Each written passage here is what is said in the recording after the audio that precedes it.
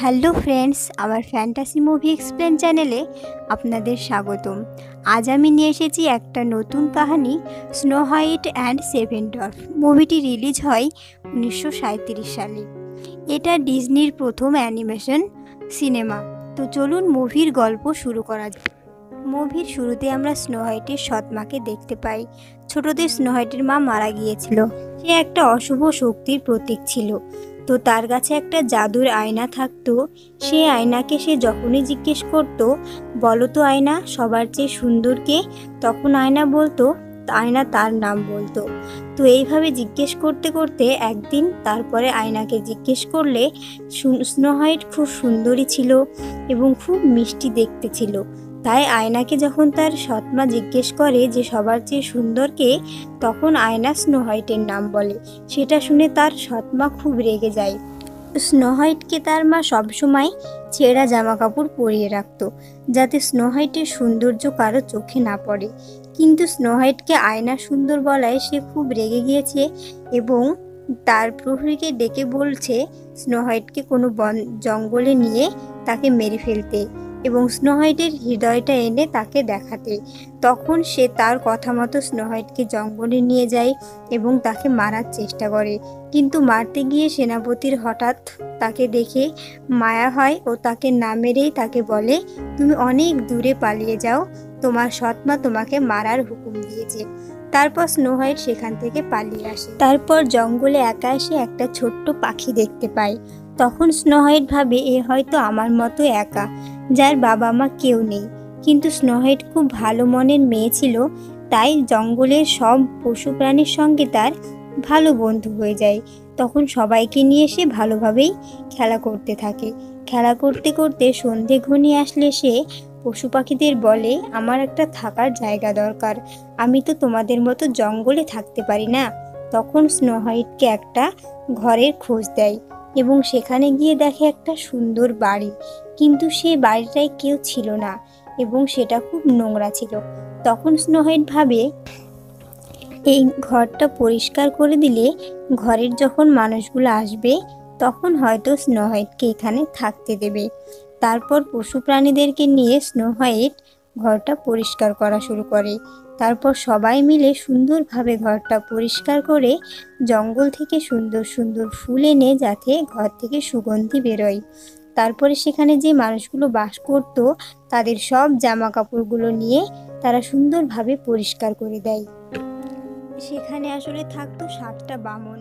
তো তারা কাজের জন্য বাইরে বাইরে যেত তাদের কাজ থেকে ফিরতে রাত হতো, তাই তারা কোনো সময় ঘর পরিষ্কার করার সুযোগ পেত না।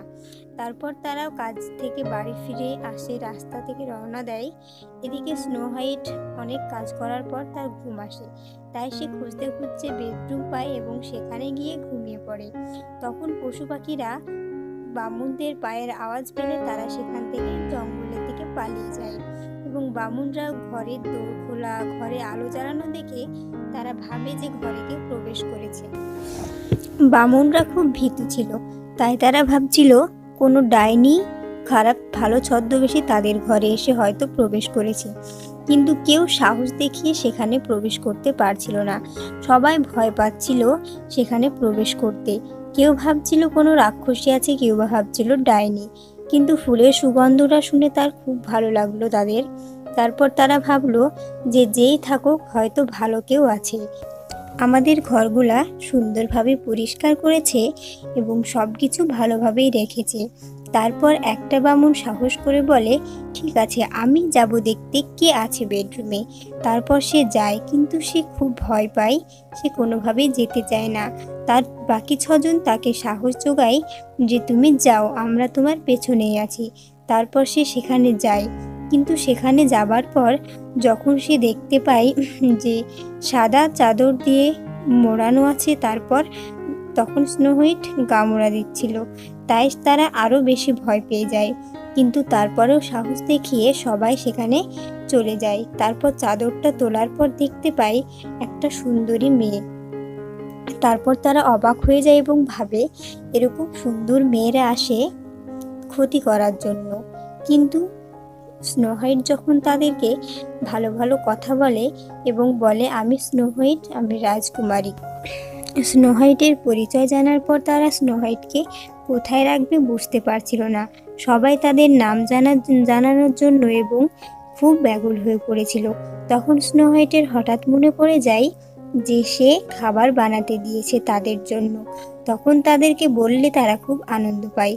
ও জিজ্ঞেস করে তারা হাত ধুয়েছে কিনা কিন্তু তারা কাজ থেকে এসে কেউ পরিষ্কার হয়েছিল না।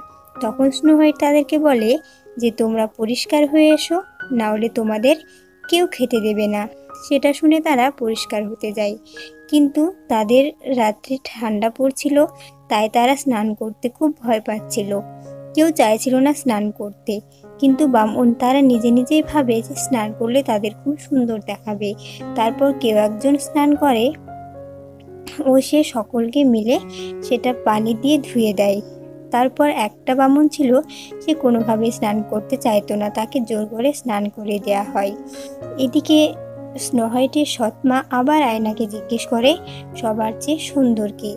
তখন আয়না বলে স্নো হোয়াইট সে আছে সাত সমুদ্র, সাত নদী, সাত ঝর্ণার পারে সেটা শুনে তার সৎমায়ের খুব রাগ হয়ে যায়। এবং সে ভাবে যে স্নো হোয়াইটের কাছে তাকে পৌঁছাতে হবে। তাই সে তার বদশক্তি দিয়ে একটা খারাপ জিনিস তৈরি করে, যেটা খেলে সে অন্য ধরনের দেখতে হয়ে যাবে। সে বৃদ্ধ টাইপের, কিন্তু তাতেও সে রাজি ছিল। তারপর সেটা খাওয়ার পর তার চেহারাটা অনেকটা বৃদ্ধের মতো হয়ে যায়। কিন্তু সে সেটাতে রাজি ছিল কারণ স্নোহাইট যাতে তাকে দেখে চিনতে না পারে। ও সে স্নোহাইটের কাছে যাবে এবং স্নোহাইটকে বোকা বানিয়ে তাকে মেরে ফেলবে, যাতে আয়না আর কখনো বলতে না পারে যে তার চেয়ে আর সুন্দর কেউ আছে। এদিকে বামনরা স্নান করে আসার পর খাওয়ার জন্য খুব ব্যস্ত হয়েছিল। তখন স্নোহাইট তাদের সবাইকে খেতে দেয় এবং খাওয়ার পর তাদের ঘুম আসে এবং স্নোহাইটও ঘুমাতে যায় ও তাদেরকেও ঘুমাতে বলে। তখন তারা সবাই মিলে সেখানে ঘুমিয়ে পড়ে। তারা এক একজন এক একভাবে নিচে ঘুম পাড়ে এবং স্নোহাইটকে তাদের বেডরুম ছেড়ে দেয়। এদিকে তার সৎমা ভাবছিল স্নোহাইটের কাছে একটা সুন্দর আপেল নিয়ে যাবে। সেটা খুব বিষাক্ত জিনিস দিয়ে তৈরি করেছিল। সে স্নোহাইটকে আপেলটা নিয়ে গিয়ে দিবে এবং স্নোহাইট সে আপেলটা খেলে তার সঙ্গে সঙ্গে নিঃশ্বাস বন্ধ হয়ে সে মারা যাবে এবং কোনো দিন যদি কেউ ভালোবেসে তাকে কিস দেয়, তবেই স্নোহাইটের জ্ঞান ফিরবে। তারপর সে আপেলটা নিয়ে স্নোহাইটের দিকে রওনা দেয়। সকাল হয়ে গেছে। সব বামুনরা ঘুম থেকে উঠে তারা কাজে রওনা দেওয়ার জন্য হাজির হয়েছে। তখন তারা কাজে চলে যায় ও স্নোহাইটকে খুব ভালোবাসে, তাই তারা স্নোহাইটকে ছেড়ে যেতে চাইছিল না। তখন স্নোহাইট তাদেরকে বলে, তোমরা যাও, আমি এখানেই থাকব, আমি কোথাও যাব না। তারপর বামুনরা কাজে যাওয়ার পর সেখানে ডাইনি পৌঁছে যায়। স্নোহাইটের সৎমা এবং সেখানে এসে স্নোহাইট তখন খাবার বানাচ্ছিল। স্নোহাইটকে বলে যে, এই মা, আমাকে একটু পানি দিতে। তখন স্নোহাইট তাকে পানি দিতে এলে সে ভেতরে আসে এবং স্নোহাইটকে সে সুন্দর আপেলটা দেখায়। তারপর সেটা খেতে বলে। কিন্তু পশু পাখিরা তাকে দেখে চিনতে পারে ও তাকে সেখানে দেখে তারা খুশি হয় না। তখন বামনরা কাজ করছিল। পশু পাখিরা খুব দ্রুত বামনদের কাছে আসে ও বামনদেরকে নিয়ে যাওয়ার চেষ্টা করে স্নো হোয়াইটের কাছে। কারণ তারা বুঝতে পারে যে এই স্নো হোয়াইটের ক্ষতি করতে চায়। কিন্তু বামনরা পশু পাখিদের কোনো কথাই বুঝতে পারে না।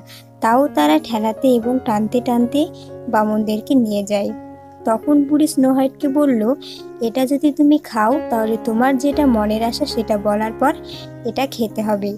তারপর স্নো হোয়াইট চাইলো যে একটা রাজকুমার এসে তাকে নিয়ে যাবে এবং তারা দুজন খুব সুখে থাকবে। তারপর আপেলটাই স্নো হোয়াইট খায়। তখনই সে জ্ঞান জ্ঞান হারায় এবং পড়ে যায় এবং বামুনরাও সেখানে পৌঁছে যায় ও ডাইনিকে তাড়া করতে থাকে। ডাইনি পালিয়ে যায় পাথরটা বামুনদের গায়ে ফেলার চেষ্টা করলে তার গায়েই পড়ে যায়। স্নোহাইট মারা যায় কিন্তু বামুনরা তাকে উঠতে রাজি হয় না। তাই তাকে রেখেই দেয়। তার মৃত্যুবার্ষিকীর এক বছর পূর্ণ হলে সেখানে তারা ফুল দিচ্ছিল। তখন একটা রাজকুমার আসে ও রাজকুমার এসে স্নোহাইটের খোঁজে সেখানে প্রবেশ করে। সেখানে প্রবেশ করার পর স্নোহাইটকে দেখলে সে একটা কিস দেয়। তখন স্নোহাইট জেগে ওঠে।